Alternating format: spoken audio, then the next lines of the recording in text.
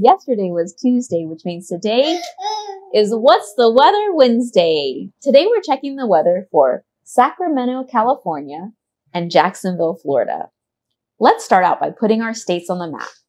California is over here by the Pacific Ocean and Florida is over here by the Atlantic Ocean.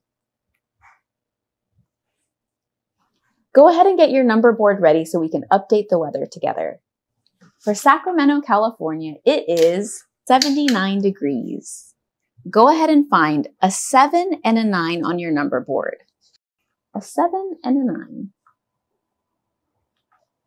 That's an 8. That's a 9. 8. So we need a 7 and a 9.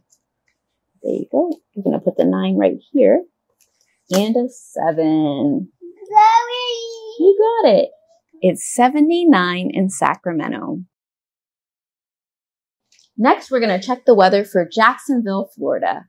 In Jacksonville, Florida, it is 88 degrees. We need an 8 and another 8. two eights. Two eights. Why we need two eight? Two eights because two eights make 88. 8 and another 8. You've got it. In Jacksonville, Florida, it is 88 degrees. 88 degrees. Thanks for tuning in this week. Tune in next week when we update the weather again.